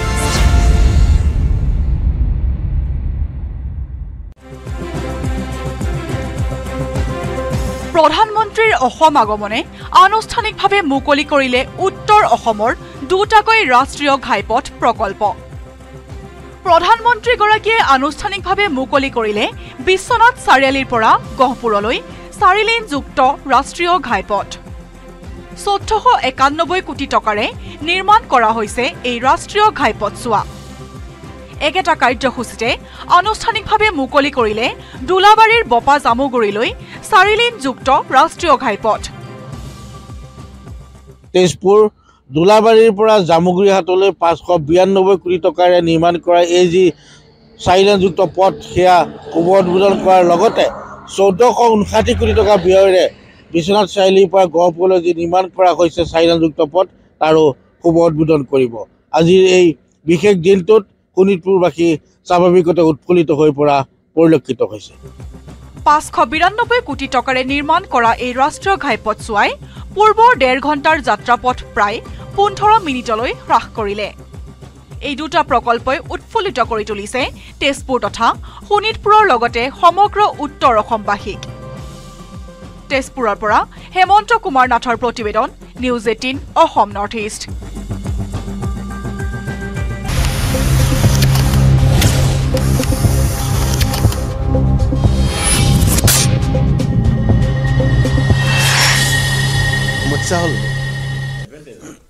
বিৰতিৰ পিছত স্বাগতম জনাইছোঁ আলোচনা কৰি আছোঁ অসম বিধানসভাৰ অধিৱেশন বাজেট অধিৱেশন বাজেট দাখিল কৰা হ'ব। তাৰ লগে লগে এই অধিৱেশনত দুখন গুৰুত্বপূৰ্ণ বিধেয়ক উপস্থাপন কৰা হ'ব ইউনিফৰ্ম চিভিল কোড আৰু বহু বিবাহ নিষিদ্ধকৰণ। দুয়োটাই গুৰুত্বপূৰ্ণ বিষয় আমি আলোচনা কৰি আছোঁ। অন্যান্য বিষয়লৈ যোৱাৰ আগতে শেষবাৰৰ বাবে। হয় ছাইদুল ইছলাম। মই এই কথাটো এই মই এটা কথা আগতে কৈছোঁ যে মই ইউ চি চি যদি যিখিনি প্ৰগ্ৰেছিভ কথা সেই প্ৰগ্ৰেছিভ কথাখিনি আমি সদায় ৱেলকাম কৰিব লাগিব। আৰু দ্বিতীয় কথাটো হ'ল এই বিষয়টো আমি এনেকৈ আলোচনা কৰাটো উচিত নহয় বা ৰিয়েকশ্যনবিলাক আমি এনেকৈ দিয়াটো উচিত নহয় যে U C C is against the Muslim এনেকুৱা কথা এটা হ'ব নোৱাৰে প্ৰথম কথা। কাৰণ গোটেই ভাৰতত আমি যদি ব্ৰিটিছৰ দিনৰ পৰা লক্ষ্য কৰোঁ কেইবাখনো মেৰেজ এক্ট কেইবাখনো ডাইভৰ্চ এক্ট কেইবাখনো প্ৰপাৰ্টি ছাকচেছন এক্ট এনেকুৱা কিছুমান এক্ট আছে আৰু প্ৰত্যেক এক্টৰ আগত হিন্দু বা মুছলিম নামটো লগাই থোৱা আছে। আৰু আনকি গোৱাৰ নামতো এখন নিজাকৈ চিভিল এখন এক্ট আছে। এনেকুৱা পৰিপ্ৰেক্ষিতত আমাৰ যিটো সাংবিধানিক বিধি ব্যৱস্থা ক'ৰবাত কেতিয়াবা চেলেঞ্জ এটা হয়। কাৰ- কাৰণ আমি এই এই বিষয়ত কেতিয়াবা আমি অধ্যয়ন কৰি গম পাওঁ আনকি চুপ্ৰিম কোৰ্টত এই বিষয়টো বিভিন্ন সময়ত গৈছে এই- এনেকুৱা বিষয়বিলাক। গতিকে এই কথাবিলাকক লৈ পেলাই যদি এটা প্ৰগ্ৰেছিভ চিন্তা চৰ্চা কৰি পেলাই এটা ইউনিফৰ্ম ব্যৱস্থা এটা কৰে এইটো বেয়া কথা নহয়। কিন্তু একে সময়তে মই এটা কথাই কৈছোঁ যে এই যিটো ধৰক অলপ আগতে এতিয়া এনেকুৱা কিবা বিষয় আহিব পাৰে নেকি কেতিয়াবা? যিকেইটা বিষয়ে মানুহৰ পাৰ্চনেল কথাত হাত দিব পাৰে। এতিয়া বহু বিবাহৰ নিচিনা বিষয়টো তাত বিৰোধ কৰাৰ একেবাৰে এশ শতাংশ যুক্তি আছে। একে সময়তে কেতিয়াবা তাত কেতিয়া হয়তো কিবা এটা এনেকুৱা বিষয় থাকিব এনেকুৱা এনেকুৱা ক্ষেত্ৰত বিবাহ- বহু বিবাহ হয়তো মানি ল'ব পাৰে এনেকুৱা বিষয় হয়তো কেতিয়াবা ইনক্লুড হোৱাৰ এটা সম্ভাৱনা আছে। কিন্তু মই মূল কথাটো মোৰ এনেকুৱা কোনো কাৰণতে মানুহৰ পাৰ্চনেল কথাটোত কোনো কাৰণতে যাতে হেৰি এনক্ৰচমেণ্ট নহয় এইটো এক- নম্বৰ কথা। দ্বিতীয় কথাটো অলপ আগতে আপুনি যিটো কথা ক'লে লিভ ইন ৰিলেশ্যনশ্বিপ এই বিষয়টো আমি কেতিয়াবা এনেকৈ লৈছোঁ নেকি যে আমাৰ যিবিলাক ভাৰতৰ নাগৰিক আছে আমি নাগৰিকৰ যিটো ইণ্টেলেকচুৱেল প্ৰপাৰ্টি বা ইণ্টেলেকচুৱেল কেপেবিলিটি আৰু তেওঁলোকৰ যিটো আমাৰ চৰিত্ৰগত দিশ তাক লৈ পেলাই আমি ক'ৰবাত বেছিকৈ আমি অলপমান সচেতন হৈছোঁ নেকি যে এই মানুহখিনি এই ধৰণৰ ব্যৱস্থা এটাক লৈ পেলাই যদি আমি কৰি দিয়া নহয় তেতিয়াহ'লে লিভ ইন ৰিলেশ্যনৰ নিচিনা বিষয়টোৱে আমাৰ সামাজিক পৰিৱেশটো বিনষ্ট কৰিব। এনেকুৱা কথা আহিব পাৰে নেকি? কাৰণ মই ভাবোঁ যে এগৰাকী ব্যক্তি কাৰ লগত থাকিব কাৰ লগত নাথাকিব এনেকুৱা বিষয়টো গণতান্ত্ৰিক এখন দেশত বা আমাৰ ভাৰতীয় ব্যৱস্থা বিধি ব্যৱস্থাত এই বিষয়টোক লৈ পেলাই কোনো আইনগতভাৱে কোনে কাক পচন্দ কৰিব কোনে কাক ভাল পাব কোনে কাক বেয়া পাব এই বিষয়টো ডেমক্ৰেচি ৰুল অফ ল ইয়াত যদি দুজন পুৰুষ একেলগে থাকিব পাৰে দুগৰাকী নাৰী একেলগে থাকিব থাকিব পাৰে পুৰুষ মহিলাও একেলগে থাকিব পাৰে ইন সেই- কণ্ডিশ্যন সেই বিষয়খিনি- তাক আপুনি নামটো যিয়ে নহয়, নিদিয়ক মই কিন্তু তাৰ পৰা কি ধৰণৰ কথা হয় তাৰ প্ৰতিক্ৰিয়া কি তাৰ পিছত কি ঘটে সেইটো গুৰুত্বপূৰ্ণ আমি কথা। চৰকাৰেতো কোৱা নাই যে আপুনি। কাৰোবাৰ লগত থাকিবলৈ। চৰকাৰে কৈছে যে কোনোবা লিভ ইন যদি থাকে যিখন মই উত্তৰাখণ্ডৰ যিটো ৰুল চাইছোঁ যে যদি একেলগে লিভ ইন থাকে দে হেভ টু ৰেজিষ্টাৰ্ড মানে লিভ ইনটো ওৱান মান্থছৰ ভিতৰতে ৰেজিষ্টাৰ কৰিব লাগে মানে কি হয় বহুতে লিভ ইন কৰে কৰাৰ পাছত ছেপাৰেশ্যন হয় পাছত একোটা সমাজত এটা এটা লিগেল আহে। ইছ্যুজ হয় ৰেপ কেছ হয়। বিশ্বাসঘাতকতাৰ কেছ হয় বিশ্বাসঘাতকতা। মাৰ্ডাৰ হয় ডেড বডি ভাৰতত দিল্লীতে ঘটনা হৈছে দিল্লীতে কিমান লিভ ইন ৰিলেশ্যন কথা কিন্তু ফ্ৰিজত কাটি পেলাই শুনা লিভ ইন ৰিলেশ্যন ফ্ৰিজত কাটি টুকুৰা টুকুৰকে ফ্ৰিজত যোৱা। তেওঁলোক কি ৰিলেশ্যনত কি আছে কোন আছে নাছে এটা কথা এইকাৰণে পাৰে। এইবিলাক ৰেজিষ্টাৰ কৰাটো চাওক চৰকাৰে চৰকাৰে ৰেজিষ্টাৰটো কি পৰ্যায়ত হয় আজিৰ তাৰিখত হোটেলতো এজন মানুহ থাকিবলৈ গ'লে থানাত ৰেজিষ্ট্ৰেশ্যন হয় Yes. ৰেজিষ্ট্ৰেশ্যনৰ ডিগ্ৰী অফ তাৰ মানে হেৰি ইম্পেক্ট Exactly. আমি এতিয়া যেতিয়া হোটেল এখনত থাকো ভাৰতৰ যিকোনো স্থানত যোৱা মানে কি থানাত আমাৰ ৰেজিষ্টাৰ হয় Exactly. ৰেজিষ্টাৰটো কি পৰ্যায়ত হ'ব ৰেজিষ্টাৰটো আপুনি এতিয়া চাব ৰেজিষ্টাৰৰ তাত গৈ চাৰ্টিফিকেট দি হ'ব থানাত এটা। ভাড়াঘৰৰ মালিকে থানাত গৈ এটা ইণ্টিমেশ্যন দিব যেনেকে আমি ভাড়াঘৰ থাকিলে এতিয়া মালিকে ইণ্টিমেশ্যন দিয়ে. ইণ্টিমেশ্যন দিওঁতে যেনিবা মই এজনক ভাড়া দিছোঁ নে দুজনক ভাড়া দিছোঁ তেওঁলোকৰ। ৰিলেশ্যনটো লিখি দিব পাৰে গতিকে সেইটো এতিয়া ডিফাইন কৰিব ডিফাইন কৰাৰ পিছতহে এটা কথা আহিব যে লিগেলি তেওঁ হাৰাচমেণ্টৰ সন্মুখীন হৈছে নাই আমি এটা কথা মনত ৰাখিব আমি এপচলিট ডেমক্ৰেচি আমাৰ দেশত গণতান্ত্ৰিক আৰু আইনৰ শাসনত এপচলিট পাৰ আছে। ইয়াত আমি আকৌ পুৰুষ মহিলাক আমি নুশুনো আৰু এবাৰ সুপ্ৰিম কোৰ্টে জাজমেণ্টত একেলগে কৈছে আমাৰ বিভিন্ন ঠাইত পুৰুষ মহিলা একেটা বন্ধ কোঠাত একেলগে থাকিলে গাঁৱৰ মানুহবোৰে অনৈতিক বুলি অত্যাচাৰ কৰি মাৰ ধৰ কৰি পুলিচ মাতি আনি জমাই দিবলৈ সুপ্ৰিম কোৰ্টে কৈছে নহয় দুজন একেলগে থাকিব পাৰে। পাৰে থাকিব পাৰে। এই কথাটো এতিয়া সামাজিক আপুনি- আমি সামাজিক দৃষ্টিকোণটো চাওঁ আমাৰ সামাজিক পৰিৱেশত এই ধৰণৰ যিটো কথা আপুনি এইমাত্ৰ উল্লেখ কৰিলে সেইটো আমি আমাৰ পৰিৱেশত এতিয়া মানি ল'ব পৰা পৰি যে হোৱা নাই। নহ'লেও। নহ'লেও আমি ক'ৰবাত এটা এৱাৰনেছ দেখিছোঁ যে এনেকুৱা বিষয় এটা হ'লে এনেকুৱা এটা বিষয় তাক মানুহে মানুহে তাক এনেকুৱা হয় আইনী হাতত দিবৰ কাৰণে। যিটো কথা অলপ আগত আপুনি পৰমণি আদিত্য ডাঙৰীয়াই কৈছে যে আপুনি কোনোবা ধৰক লিভ ইন থাকিলে গাঁৱৰ মানুহে গৈ পেলাই পুলিচক চমজাই দিলে মাৰপিট কৰিলে তেওঁ যদি ৰেজিষ্টাৰ কৰি থয় যে আমি দুজন আছোঁ বা register in the case of কি আজিকালি ভাড়াঘৰত থাকিলেও যদি ৰেজিষ্ট্ৰেশ্যন হয় ক'ৰবাত যদি পুলিচৰ এণ্টিমেশ্যন দি থৈছে লোকেল থানাত যে দুজন আছে তেতিয়া ঝামেলা কি আছে মই মোৰ হিচাপত মোৰ হিচাপত এই ৰেজিষ্টাৰটো চাব ৰেজিষ্টাৰ তাত গৈ বিয়াৰ নিচিনা ৰেজিষ্টাৰ নহয় নহয়, নহয়। ভাড়াঘৰত এইটো থকা intimation হোটেলত হয়। থকাৰ নিচিনা ইণ্টিমেশ্যন টাইপৰ ৰেজিষ্টাৰ মানে কেনেকে আহিব কেনেকে। নাহিব ভাল বেয়াটো সেইটো আমি নাজানো। ভাল বেয়াটো আজি আমি ক'ব নোৱাৰো কিন্তু মই দিক নিৰ্ণয়ক লোকসকলে ক'ব পাৰিব মই মই এটা কথা পৰাগ দা ক'ব খুজিছোঁ যে হিন্দু মুছলমান এক এংগলত নগৈ পেলাই আজি ঝাৰখণ্ডৰ যিটো সমাজ ব্যৱস্থা আজি যদি উত্তৰ প্ৰদেশত দলিতসকলৰ যিটো জীৱন ধাৰা এই জীৱন ধাৰাৰ পৰ্যায়বিলাক যদি এই আইনখনে যদি উন্নীত কৰে তে আৰু যদি সম বিকাশৰ পৰ্যায়লৈকে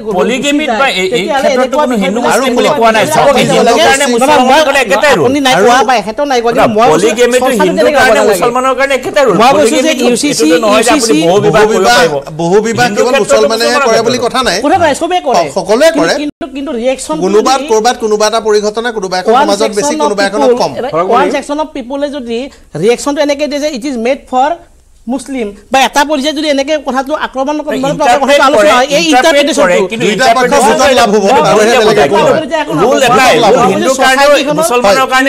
ইউ চি চি আহিব লাগে ইউ চি চিৰ পজিটিভ কথাখিনি আমি সদায় সমৰ্থন কৰিম। দ্বিতীয় কথাটো হ'ল কি ইউ চি চিক লৈ পেলাই এটা ৰাজনৈতিক পৰিৱেশ সৃষ্টি কৰি যাতে সমাজখনক যিটো আমি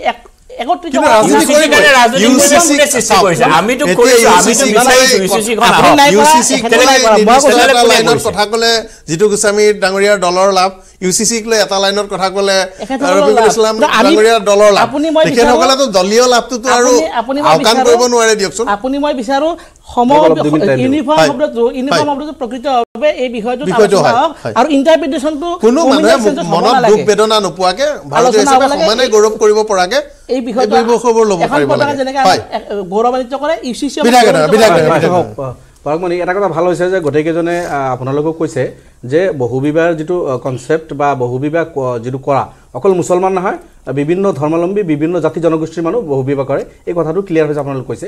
হয়। কোনো ধৰণৰ দুষ্কাৰ্য আজি অপৰাধ কওক যিকোনো ধৰণৰ কথা কওক। কোনোবা এখন। সমাজত কম বেছি হ'ব পাৰে। সেইটো confine কেতিয়াবা কৰিব কিন্তু নোৱাৰে। ধৰ্মবিলা হ'ব পাৰে কেতিয়াবা জিঅ'গ্ৰাফিক এৰিয়া হিচাপে হ'ব পাৰে। আজি মোৰ এজন বিধায়ক বন্ধুৱে কৈছিল যে অৰুণাচলৰ তেখেতৰ পৰিচিত এজন বিধায়ক তেখেতৰ ষোল্লজনী স্ত্ৰী আছে। সোতৰ নম্বৰত তেখেতে ভাবি আছে যে কোনোবা আৰু এজনীৰ কথা চিন্তা কৰিছে আজি কৈছে। তো অৰু- অৰুণাচলত তেনেকুৱা আছে ষোল্লজনী। অৰুণাচলৰ বোধহয় কোনোবা এজন প্ৰাক্তন চিফ মিনিষ্টাৰ আছিল তিনিজনীয়া কেইজনী তেখেতৰ স্ত্ৰী আছিল। তো বহুত ঢেৰ আছে আপোনালোকৰ কাষতে হ'ব অৰুণাচল যে তাতে অকল সেই বিজেপি শাসিত ৰাজ্য। হয়তো মই নাজানো সেই বিধায়কজন বিজেপি দলৰ না কোন দলৰ সেইটোও মই নাজানো। কেইদিন আগত কাৰ্বি আংলঙত আলোচনা হৈছে ই এম এজন আছিল তেখেতে তেখেতৰ এই দুই তিনিজনী স্ত্ৰী লৈ এইটো কাজিয়া মই টিভিত চাইছোঁ। সেইজন মুছলমান নহয়। তো এই কথাটো ক্লিয়াৰ হৈছে যে বহু বিবাহ এইটো অকল মুছলমানতে নহয় বদনাম মুছলমানক দিলেও চবৰ মাজতে এই বেমাৰটো আছে। কিন্তু এইটো মই আগতে কৈ গৈছোঁ ইছলামে এনকাৰেজ কৰা নাই। এতিয়া মই আজি এইটো দেখিছোঁ যে অসমত ইউ চি জি কি আনিব এই কথাটো এইটো স্পষ্ট নহয়। উত্তৰাখণ্ডে আনিছে তাতে কিছুমান বস্তু আমি লৈ হয়তো আজি আলোচনা কৰি আছোঁ। অসমত হয়তো সেইটোকেই ফ'ল' কৰি তেনেকুৱা ধৰণৰ কিছু আনিব। মই আকৌ কৈছোঁ এইটো ইউ চি চি নহ'ব এইটো পাৰ্টলি কিবা এটা তেখেতসকলে আনিব সন্মুখত ইলেকশ্যন সেইটো টাৰ্গেট লৈ আনিব। যদি বহু বিবাহ মুখ্যমন্ত্ৰীয়ে অসমৰ বহুদিনৰ পৰা কৈ আছে যে বহু বিবাহ পলিগেমি বহু বিবাহ বন্ধ কৰিম। মই লক্ষ্য কৰিছোঁ ঠিক আছে বহু বিবাহ বন্ধ কৰাৰ কাৰণে আপুনি কিবা এটা আনিব। আকৌ যিটো লিভ ইন ৰিলেশ্যনৰ কথা আমি কৈ আছোঁ যিটো মই আগতে কৈছোঁ যে এইটো কোনেও পচন্দ নকৰে কোনো ধৰ্মাৱলম্বী মানুহে কিন্তু এই বস্তুটো সামাজিক মানে এইটো বেদীৰ নিচিনাই ভাবে যে লিভ ইন ৰিলেশ্যনটো কোনেও পচন্দ নকৰে কোনোবা যদি কৰিও আছে সেইটো মই ভাবোঁ কোনো মা দেউতাই সেইটো ল'ৰা ছোৱালীক সেইটো স্বীকৃতি মন খুলি নিদিয়ে সেইটো বেয়া পায় সকলে। আৰু ইছলামততো সেইটো ইলিগেল আৰু এইটো এলাও নাই এইটো মই আগত কৈছোঁ। তো এইটো এফালে আপুনি বহু বিবাহ বন্ধ কৰিব। আনফালে যি যি ধৰ্মাৱলম্বী মানুহৰ কাৰণে বহু বিবাহ নাছিল অলপ ঘূৰাই পকাই সেইসকলৰ কাৰণে বহু বিবাহৰ ৰাস্তা খুলি আছে নেকি? লিভ ইন ৰিলেশ্যন ৰেজিষ্ট্ৰেশ্যন মোৰ কথাটো ক'ব আপুনি কথাটো- please, এক মিনিট আপুনি ক'ব মই এইটো কথাটো এইকাৰণে কৈছোঁ যে লিভ ইন ৰিলেশ্যনৰ কথা যদি ৰেজিষ্ট্ৰেশ্যনৰ কথা কৈছে। ৰেজিষ্ট্ৰেশ্যন এটা কৰিব আপুনি চাব ৰেজিষ্টাৰৰ ওচৰতে যাওক থানাতে হওক বা কোনোবা ঠাইত হওক। নিকা বিয়া মুছলমান বা হিন্দুসকলৰ মাজত যে হয় এই কাজী বা আপোনালোকৰ বা আৰু যদি কোৰ্টত যায় এই একেটাই কথা কোৰ্ট হওক বা থানা হওক বা চাব ৰেজিষ্টাৰৰ ওচৰত হওক সেই ৰেজিষ্ট্ৰেশ্যনটো হ'ল। ইছলামত আছে যে দুজন প্ৰাপ্তবয়স্ক মানুহ সাক্ষী হ'ব লাগে। যে এই দুজনৰ মাজত যে বিয়া হ'ল এই কথাটো মই আমি সাক্ষী। এই সাক্ষী আৰু তাতে কিছু দোৱা আছে হিন্দুসকলৰ হাত ফেৰ বা আৰু কিবা কিবি নিয়ম নীতি বেলেগ বেলেগ ধৰ্মত আছে। এইটো ডেট ইজ কল নিকা। সেইটোকে বিয়া বুলি কোৱা হয়। এতিয়া লিভ ইন ৰিলেশ্যন যদি ৰেজিষ্ট্ৰেশ্যন কৰাব লাগে আল্টিমেটলি ৰেজিষ্ট্ৰেশ্যন কৰাবলৈ গ'লে সন্মুখত দুজন মানুহ থাকিব। তেখেতসকলে জানিব সেই দুজনকো যদি আপুনি উইটনেছ বনাই দিয়ে সেই ৰেজিষ্ট্ৰেশ্যনটো কৰাই লয়। লিভ ইন ৰিলেশ্যন এটা মুম্বাই টাউনত কৰিল এটা দিল্লীত কৰিল কোনোবা এজন আহি গুৱাহাটীত কৰিল এটা এজন মানুহেই তিনি জাগাত লিভ ইন ৰিলেশ্যন কৰি মস্তিত আছে যিটো হিন্দু ধৰ্মত এইটো এলাও নাছিল অন্য ধৰ্মত বহু বিবাহ এলাও নাছিল। এতিয়া বহু বিবাহ এফালে বন্ধ কৰি আনফালে কেইবাটা কেইবাটা লিভ ইন ৰিলেশ্যন ৰেজিষ্ট্ৰেশ্যন কৰি এই সুযোগটো দিয়া। এইটো সমাজটো আৰু দূৰলৈকে বেয়া লিভ ইন ৰিলেশ্যনৰ- হেৰিটো চোৱা নাই। লিভ ইন চোৱা নাই, কিন্তু এটা কথা থাকক, বিচাৰিছে, এইটো তেতিয়াহ'লে কিছু আমাৰ possible ৰাজ্যৰ নহয়। কাৰণে এইটো পচিবলে নহয় এতিয়া তিনিটা জেগাত নোৱাৰো। তিনিটা জেগাত যদি তেওঁ লিভ ইন ৰিলেশ্যনৰ যদি ৰেজিষ্ট্ৰেশ্যন আছে ডেফিনেটলি তেওঁ ফচিব তেওঁ ডেফিনেটলি নোৱাৰে নোৱাৰে? হাণ্ড্ৰেড পাৰ্চেণ্ট নোৱাৰিব কাৰণ তেওঁ যদি পাৰে নাই? তেওঁ যদি কালি কোৰ্টলৈ যায় গ'লে দুইগৰাকী। নাৰীয়ে ক্লেইম কৰিব নহয় নাই দুইগৰাকী। নাৰীয়ে কালি ক্লেইম তাই যদি স্ত্ৰী নহয় কি কেছ কৰিব তাইৰ লগত আপুনি বেলেগ কথা। আপুনি লিভ ইন ৰিলেশ্যন যদি কৰি আছে সেইজনী আপোনাৰ লিগেল স্ত্ৰী নহয় আপুনি বিয়াই পতা নাই জাষ্ট তাইৰ লগত এটা কণ্ট্ৰাক্ট কৰিছে আপুনি ৰিলেশ্যন কৰাৰ কাৰণে কেইদিনৰ কাৰণে এই। বস্তুটো ইছলামে thing। বিচাৰিছে যে তোমাৰ যদি প্ৰয়োজন আছে হা ইফ ইউ মানে ৰিকোয়াৰ্ড যদি তোমাৰ হয় তাতে কনচেপ্ট এইটো আছে সুবিধাটো আছে অপশ্যন আছে তুমি দ্বিতীয় বিবাহ কৰাব পাৰে কিন্তু সন্মান দিব লাগিব। সেইজনী নাৰীক সন্মান দিব লাগিব সমদৃষ্টিত চাব লাগিব মৰমেৰে ৰাখিব লাগিব তাৰ ল'ৰা ছোৱালী তোমাৰ ল'ৰা ছোৱালী হ'ব সেইজনী তোমাৰ সম্পত্তিত মালিক হ'ব কিমান ধুনীয়া কনচেপ্ট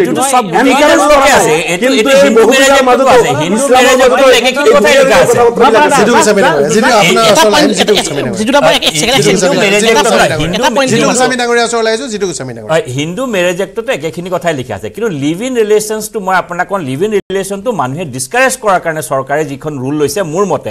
কাৰণ মই আজি যিখন উত্তৰাখণ্ডৰ পাছ হৈছে লিভ ইন ৰিলেশ্যনৰ কণ্ডিশ্যন কিন্তু ৰেজিষ্টাৰটো এইকাৰণে লিভ ইন ৰিলেশ্যনটো প্ৰয়োজনীয় হৈছে যে লিভ ইন ৰিলেশ্যনৰ কেছবিলাক ইমান বেছি আহি আছে ইমান ক্ৰাইম হৈ আছে তেওঁলোকে মেৰেজ নহয় দে ষ্টে টুগেডাৰ আৰু তেওঁ যেতিয়া ভাড়া ঘৰলৈ যেতিয়া ভাড়া বিচাৰি যায় ভাড়া ঘৰত গৈ পেলাই তেওঁ কয় যে আমি একেলগে আপুনি বিয়া বিয়াটো কেতিয়াবা তেওঁলোকে মেৰেজ চাৰ্টিফিকেট নিবিচাৰে। কিছুমান লিভ ইন ৰিলেশ্যন হ'লে এইটো ৰেজিষ্টাৰ কৰাটো দৰকাৰ যিটো অলৰেডি প্ৰজ্ঞিনী আদিত্য ডাঙৰীয়াই কোৱাৰ দৰে। মানে এইটো কি হৈছে থানাটো ৰেজিষ্টাৰ হ'ব পাৰে। এইটো মই ৰুলটো কিন্তু থানাটো ৰেজিষ্টাৰ কৰাটো এইকাৰণে দৰকাৰ হৈছে এইটো আইনগতভাৱে দৰকাৰ হৈছে। ভৱিষ্যত আপুনি যিটো কৈছে ৰফিকুল ইছলাম ডাঙৰীয়াই যে লিভ ইন ৰিলেশ্যন তেওঁ বম্বেত কৰিব কেলকাতাত কৰিব চাওক যিটো বদমাছ বদমাছেই আজি এই তালাকৰ যিটো ৰুল আহিছে আপোনালোকৰতো কোৰাণতো কোৱা নাই। আপুনি যিখিনি কোৰাণৰ কথা কৈছে। বহুবিবাহ নাই। হিন্দু- আপোনালোকে। হিন্দু বহু বিবাহ নাই। কিন্তু হিন্দু ডাইভৰ্চ আছে। আৰে আপুনি যদি কিয় নোৱাৰে? আপুনি লিগেলি এগৰাকী ৱাইফক যদি বিয়া পতাৰ পাছত ডাইভৰ্চ দিলে লিগেলি ডাইভৰ্চ পাছত আপুনি ইউ কেন মেৰি তাততো একো প্ৰব্লেম নাই।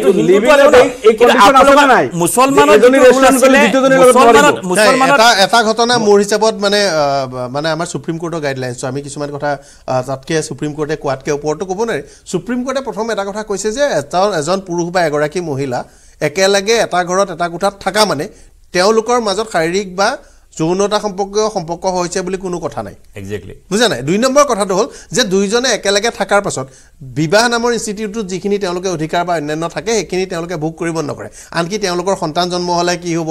সেই সন্তানে কিবা সন্মতি পাব নাপায়? কিবা ক্লেইম কৰিব পাৰে? নে সুপ্ৰিম কোৰ্টে খুব বিতংভাৱে কৈছে। আৰু সুপ্ৰিম কোৰ্টে আচলতে ডিছকাৰেজ কৰিছে কিন্তু কেতিয়াবা এজন পুৰুষ আৰু মহিলাই একেলগে কোনো ধৰণৰ বেয়া ইণ্টেনশ্যন নোহোৱাকৈও কোনো ধৰণৰ অসৎ কাৰ্য নকৰাকৈও একেলগে থাকিব পাৰে. তেওঁলোক যাতে হাৰাশাস্তি নহয়। আৰু দুই নম্বৰ কথা কেতিয়াবা একেলগে থাকি ভালকৈ আমি থাকিম বুলি কৈ তাৰে কোনোবা এজনক হত্যা বিশ্বাসঘাতকতা এনেকুৱা ধৰণৰ কথা হ'ব পাৰে। সেই সুৰক্ষাটোৰ কথা সুপ্ৰিম কোৰ্টে খুব ভালকৈ ডিফাইন কৰিছে এই বিষয়টোত। কিন্তু সুপ্ৰিম কোৰ্টে এই কথাটো এনকাৰেজ কৰা নাই।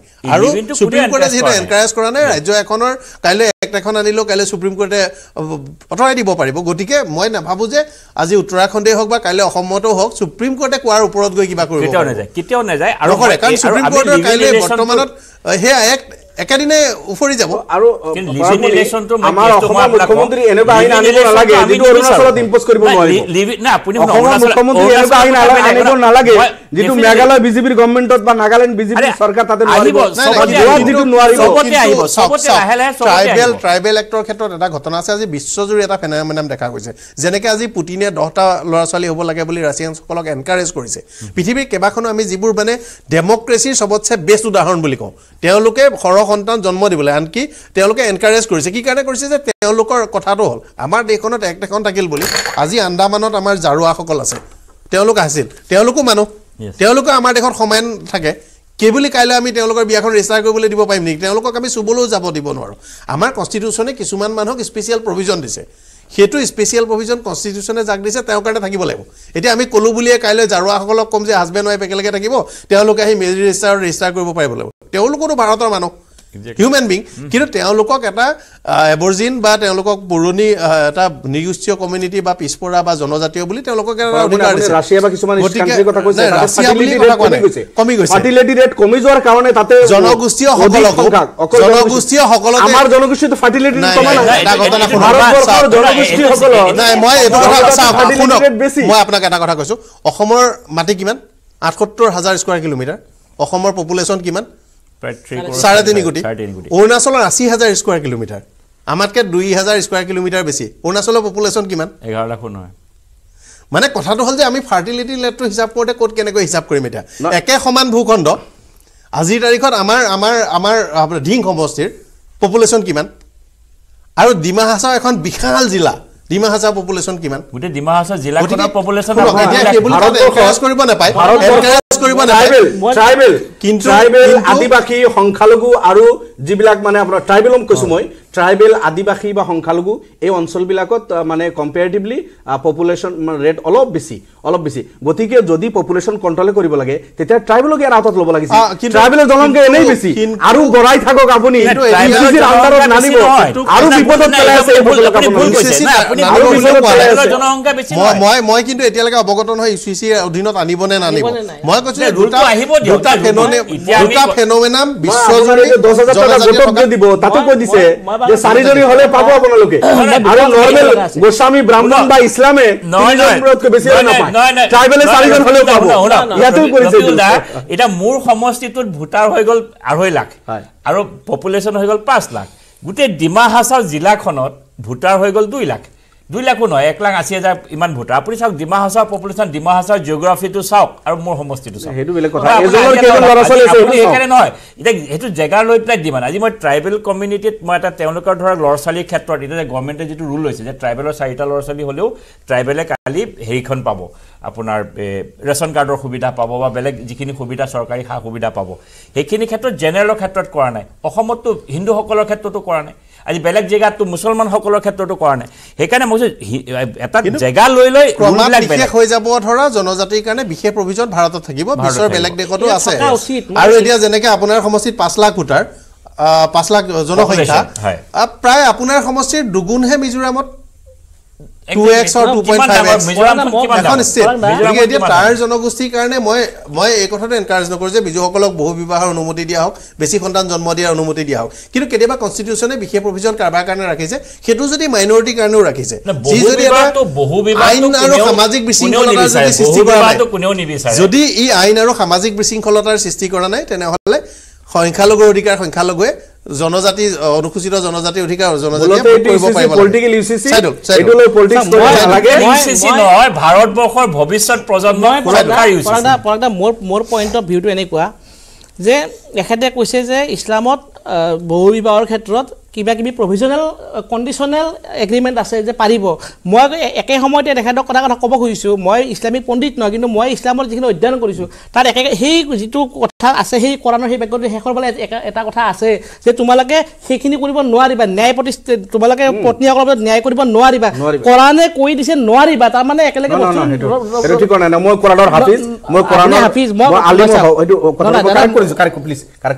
কোৰাণে এইটো কৈছে যে যদি তুমি জাষ্টিচ কৰিব নোৱাৰা আৰু- তেতিয়াহ'লে নকৰিবা। শেষত একেলগে আপুনি চাব আপুনি চাওক সেই বস্তুটো আছে যে তোমালোকে নোৱাৰা। আমি ডিপলি আমি কোৰাণৰ ব্যাখ্যালৈ নাযাওঁ। আমি মানে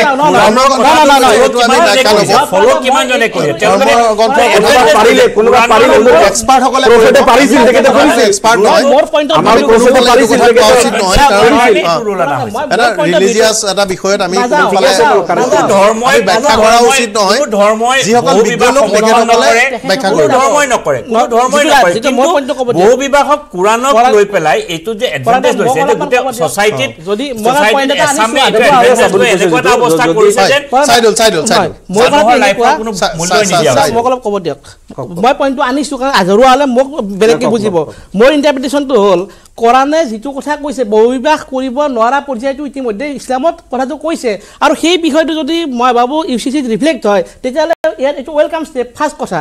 দ্বিতীয় কথাটো এনেকুৱা যে ট্ৰাইবেলসকলৰ মাজত ইতিমধ্যে এটা ফ্ৰিজিডিটি আহিছে তেওঁলোকৰ জনসংখ্যাৰ ফাৰ্টিলিটি কম এনেকুৱা বিষয়বিলাক আলোচনা হৈছে। হওক বা নহওক তেখেতসকলক সুবিধাটো দিছে বুলিয়ে মুছলমানকো সুবিধা দিব লাগে হিন্দুকো সুবিধা দিব লাগে এই কথাটো মই এগ্ৰী নকৰোঁ। এইকাৰণে যে ইতিমধ্যে অভাৰ ক্ৰাউডেড হোৱা নোহোৱা বেলেগ কথা মানুহবিলাক মানুহৰ এই- মুছলমান হওক বা আমাৰ যিবিলাক নৰ্মেল কমিউনিটি জেনেৰেল কমিউনিটি এই কমিউনিটিৰ জনসংখ্যাৰ যিটো পেটাৰ্ণ সেই পেটাৰ্ণটোৱে পৰিয়ালবিলাকৰ ক্ষেত্ৰত বহু সময়ত ইতিমধ্যে এটা বজাৰ নিচিনা অৱস্থা হৈছে। আমি বিভিন্ন সময়ত দেখিছোঁ আজি আমাৰ আগৰ প্ৰজন্মটোৱে বা আমাৰ তাৰ আগৰ প্ৰজন্মটোৱে ছয় সাতটা ল'ৰা ছোৱালী জন্ম দিয়াটো এটা নৰ্মেল কথা আছিল। এতিয়া মানুহ শিক্ষিত হৈছে লাহে লাহে কথাবিলাক চেঞ্জ হৈছে। আৰু সেই বস্তুটো যদি ইউ চি চিত ৰিফ্লেক্ট হয় যে জনসংখ্যা নিয়ন্ত্ৰণৰ বিষয়টো দুটালৈকে সীমা সীমাবদ্ধ হ'ব লাগিব একচেপ্ট ট্ৰাইবেল এই কথাটোত মই আপত্তি কৰিবলৈ নাই।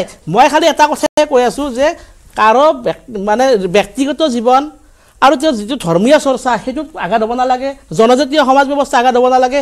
একে সময়তে আমি এটা এজন মানুহ কোনোবা কলিতা লিখিব আৰু কোনোবা বেগম লিখিব বা কোনোবা বেলেগ লিখিব আৰু সেই বিষয়টো লৈ পেলাই কোৰ্টত যেতিয়া যাব তাক যাতে কোনো এগৰাকী বিচাৰকে বিষয়টো যাতে ধৰ্মীয় বিভিন্ন আইনৰ লগত আওতাত আনি পেলাই চিন্তা চৰ্চা কৰিব নালাগে তেনেকুৱা এটা ব্যৱস্থা হোৱাটো মই ৱেলকাম ষ্টেপ খালি এটা আইনে খালি মই কৈছোঁ বা যি আইন যিয়ে নানক কথাটো হ'ব লাগে ই আইন আৰু সামাজিক বিশৃংখলতাৰ সৃষ্টি কৰিছে। নাই? যদি আইন আৰু সামাজিক বিশৃংখলতাৰ সৃষ্টি কৰিলে যিকোনো জাতি জনগোষ্ঠী বা এইটোৱে ঘটনা। সামাজিক বিশৃংখলতা আৰু অপৰাধটো সকলোৰে অপৰাধ। কিন্তু যেতিয়ালৈকে বহু বিবাহটো কোনো ক্ষেত্ৰতে আইনত নাই। বহু বিবাহটো ট্ৰাইবেলেও কৰিব নোৱাৰে।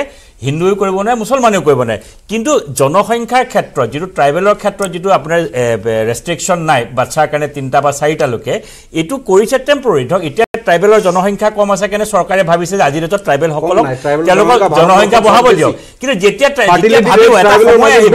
নহয় এটা সময় আহিব যেতিয়া ভাবিব যে এইটো সময়ত ট্ৰাইবেলসকলৰ জনসংখ্যা বহুত বৃদ্ধি পাইছে তেওঁলোকৰ জনসংখ্যা কমিলে এইটো চৰকাৰৰে ৰুল সেইদিনা চৰকাৰে ৰুলটো প্ৰৱৰ্তন কৰিব যে আজিৰ পৰা ট্ৰাইবেলসকলে দুটাৰ ওপৰত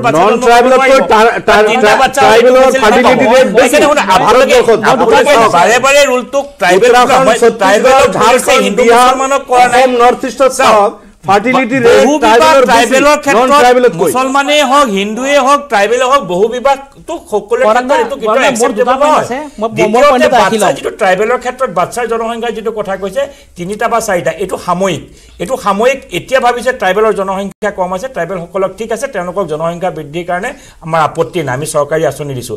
যিদিনাখন দেখা যাব যে ট্ৰাইবেলসকলৰ জনসংখ্যা একেলগে হৈছে তেওঁলোকৰ জনসংখ্যা যথেষ্ট হৈছে সেইদিনাখনে চৰকাৰে আকৌ নীতি সলনি কৰিব পাৰে। সেইকাৰণে এইটোক লৈ পেলাই মই নাভাবোঁ না, কিন্তু এইটো ভৱিষ্যত ভৱিষ্যত প্ৰজন্মৰ কাৰণে আমাক তালাক তিন তালাক জাতীয় বহু বিবাহ জাতীয় এই আইনসমূহ সমাজৰ পৰা আঁতৰিব লাগে। এই আইনসমূহে শিক্ষিত জনসাধাৰণক শিক্ষিত যুৱক যুৱতীক ভৱিষ্যতে নিজৰ নিৰাপত্তা সামাজিক সুৰক্ষা প্ৰত্যেকজন প্ৰত্যেকজন যুৱক যুৱতীৰ।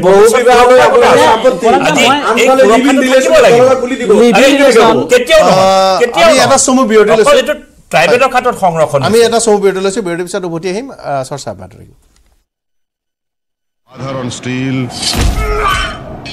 এনেকৈ পৰে। মাইথন ষ্টীল এনেকৈ পৰে। ধমকৈ।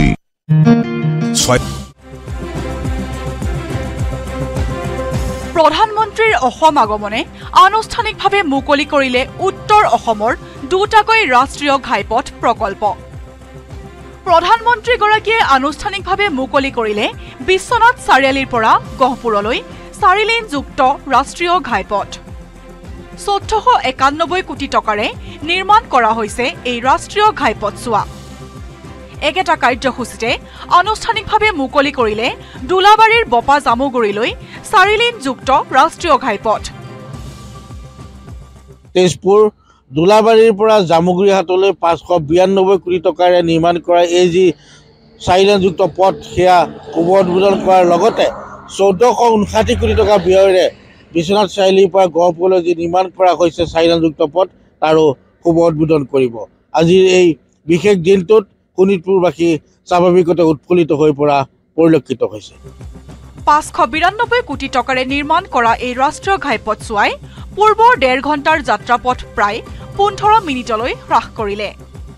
এই দুটা প্ৰকল্পই উৎফুল্লিত কৰি তুলিছে তেজপুৰ তথা শোণিতপুৰৰ লগতে সমগ্ৰ উত্তৰ অসমবাসীক। তেজপুৰৰ পৰা হেমন্ত কুমাৰ নাথৰ প্ৰতিবেদন News Eighteen Assam North East.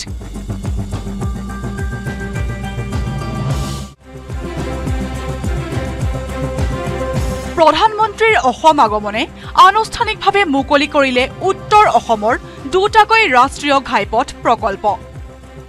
প্ৰধানমন্ত্ৰীগৰাকীয়ে আনুষ্ঠানিকভাৱে মুকলি কৰিলে বিশ্বনাথ চাৰিআলিৰ পৰা গহপুৰলৈ চাৰিলেনযুক্ত ৰাষ্ট্ৰীয় ঘাইপথ। চৈধ্যশ একানব্বৈ কোটি টকাৰে নিৰ্মাণ কৰা হৈছে এই ৰাষ্ট্ৰীয় ঘাইপথছোৱা একেটা কাৰ্যসূচীতে আনুষ্ঠানিকভাৱে মুকলি কৰিলে দোলাবাৰীৰ বপা জামুগুৰিলৈ চাৰিলেনযুক্ত ৰাষ্ট্ৰীয় ঘাইপথ। তেজপুৰ দোলাবাৰীৰ পৰা জামুগুৰিহাটলৈ পাঁচশ বিৰান্নব্বৈ কোটি টকাৰে নিৰ্মাণ কৰা এই যি চাৰিলেনযুক্ত পথ সেয়া শুভ উদ্বোধন কৰাৰ লগতে চৈধ্যশ ঊনষাঠি কোটি টকা ব্যয়েৰে বিশ্বনাথ চাৰিআলিৰ পৰা গহপুৰলৈ যি নিৰ্মাণ কৰা হৈছে চাৰিলেনযুক্ত পথ তাৰো শুভ উদ্বোধন কৰিব। আজিৰ এই বিশেষ দিনটোত শোণিতপুৰবাসী স্বাভাৱিকতে উৎফুল্লিত হৈ পৰা পৰিলক্ষিত হৈছে। পাঁচশ বিৰান্নব্বৈ কোটি টকাৰে নিৰ্মাণ কৰা এই ৰাষ্ট্ৰীয় ঘাইপথছোৱাই পূৰ্বৰ ডেৰ ঘণ্টাৰ যাত্ৰাপথ প্ৰায় পোন্ধৰ মিনিটলৈ হ্ৰাস কৰিলে। এই দুটা প্ৰকল্পই উৎফুল্লিত কৰি তুলিছে তেজপুৰ তথা শোণিতপুৰৰ লগতে সমগ্ৰ উত্তৰ অসমবাসীক। তেজপুৰৰ পৰা হেমন্ত কুমাৰ নাথৰ প্ৰতিবেদন News Eighteen Assam North East.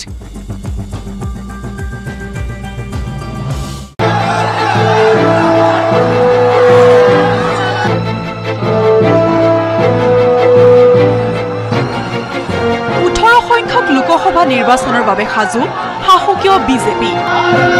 দেওবাৰে খানাপাৰাত প্ৰধানমন্ত্ৰী নৰেন্দ্ৰ মোদীয়ে এইখন বিশাল জনসভাত অংশগ্ৰহণ কৰি উত্তৰ পূবত বজালে নিৰ্বাচনী ৰণসিঙা এই নিৰ্বাচনী ৰঙসিঙা বজোৱাৰ পিছতে নতুন দিল্লীত শাসকীয় বিজেপিয়ে আয়োজন কৰিছে ৰাষ্ট্ৰীয় পৰ্যায়ত দলটোৰ এক সন্মিলন।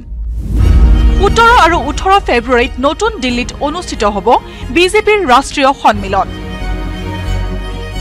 এই ৰাষ্ট্ৰীয় সন্মিলনত উপস্থিত থাকিব প্ৰধানমন্ত্ৰী নৰেন্দ্ৰ মোদী ৰাষ্ট্ৰীয় সভাপতি জে পি নাড্ডাৰ পৰা আৰম্ভ কৰি সকলো মন্ত্ৰী দলৰ ৰাষ্ট্ৰীয় নেতৃত্ব।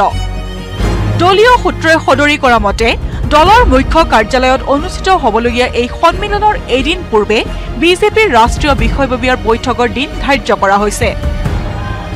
এই সন্মিলনলৈ সাধাৰণ সম্পাদক কোষৰ আহ্বায়ক সকলো মৰ্চা পৌৰ নিগম পৌৰসভা নগৰ পঞ্চায়ত জিলা পঞ্চায়তৰ সভাপতিসকলক আমন্ত্ৰণ জনোৱা হৈছে।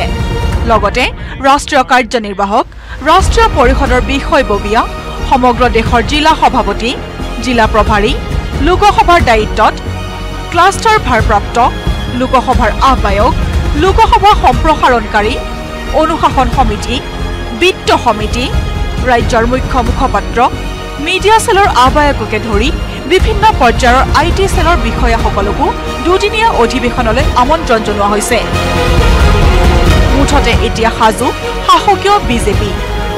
ইপিনে লোকসভা নিৰ্বাচনৰ বাবে চলিত মাহতেই বিজেপিয়ে প্ৰকাশ কৰিব প্ৰথমখন প্ৰাৰ্থীৰ তালিকা। এই তালিকাত প্ৰায় দুশজন প্ৰাৰ্থীৰ নাম সন্নিৱিষ্ট হ'ব। Bureau' report News Eighteen.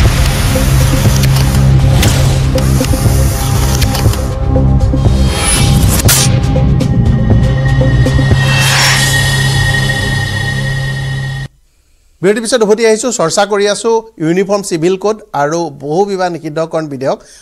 দহ তাৰিখে কেবিনেটত অনুমোদন জনাব। দহ তাৰিখৰ দিনাই বা তাৰ এদিন দুদিনৰ ভিতৰতে বিধানসভাত উপস্থাপন কৰাৰ সম্ভাৱনা অসম চৰকাৰে ইয়াৰ বাবে পথ মুকলি কৰিছে চৰ্চা কৰি আছোঁ। সামৰাৰ সময় হৈছে কিন্তু শেষ মন্তব্য ল'ম মই ছাইদুল ইছলাম মই আকৌ কৈছোঁ যে আমাৰ যিটো ছ'চিয়েল এথিক্স আমাৰ যিটো ছ'চাইটিৰ যিটো আমাৰ মূল্যবোধ সেই মূল্যবোধৰ লগত আমাৰ যিটো ডেম'ক্ৰেটিক প্ৰেচিডেঞ্চ বা আমাৰ যিটো মানে মৰেল কনভিকশ্যনৰ লগত আমাৰ বিভিন্ন সময়ত আমি চাওঁ এবচলিউট যিটো ফ্ৰীডম এইটোৰ এটা কনফ্লিক্ট হয়। এতিয়া মই এবচলিউট ফ্ৰীডম আৰু এথিক্সৰ মাজত যদি এটা সমন্বয় কৰি পেলাই কথাটো যদি আগবঢ়াই নিয়া হয় তেতিয়াহ'লে কথাটো বেলেগ। কিন্তু মই বিচাৰোঁ মই ভবাটো আৰু ছুপ্ৰিম কোৰ্টে ভবাটো বেলেগ হয়। ছুপ্ৰিম কোৰ্টে এবচলিউট ফ্ৰীডমত এটা ভাৰ্ডিক দি দিয়ে। আৰু আজি আজি আজি- আপুনি মডাৰ্ণ এই কালচাৰটোৰ সময়ত আপ- আপুনি মই ভাবোঁ এবচলিউট কালচাৰৰ ফালে এবচলিউট ডেমক্ৰেচিৰ ফালে যোৱাটোৱে ভাল। এইকাৰণে ভাল বুলি কৈছোঁ সুপ্ৰিম মই। আজিকালি আমি- চাওক, আপুনি আপুনি মই বন্ধু।